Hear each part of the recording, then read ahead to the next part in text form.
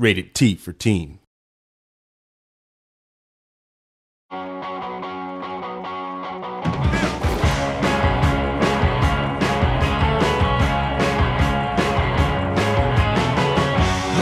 For key mode, you play from C to G um, using a track that looks very similar to your rock band track. One note for each lane and you can have chords coming down. Our authors like uh, use our pre-existing rules, bringing different chords in and bringing different stretches in at different periods from easy to expert.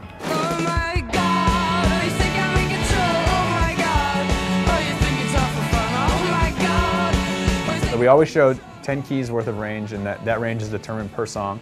Um, on easy and medium, that range always stays the same and once you get up to hard and expert, then we uh, start shifting the track around. We added um, some arrows that tell you which way it's about to shift and we start to darken out the track that's not important at that point. And so you can actually play notes that are in uh, different parts of the keyboard. It was really important for us to like leave the notes primarily black and white so you can tell them apart, tell which ones they were, so then we actually had to leverage the tracks. We do tricks like where, where you push a, a, key down, it lights up the lane and you can use that as a reference point for where your hand needs to go after that. But for players that are just interested in like learning keys for the first time, they can just stick to easy and medium and be playing the right notes but not have to worry about that.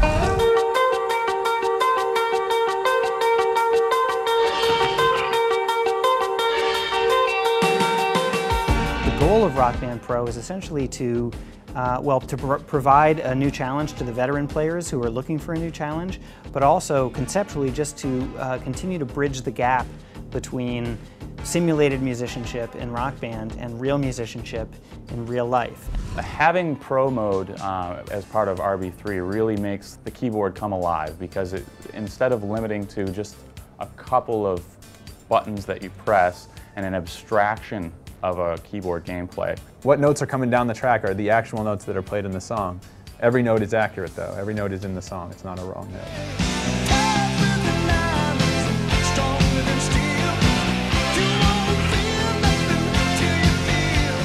We're playing The Power of Love, uh, and that song just works so well when you have like a person playing the pro guitar and a person playing pro keys.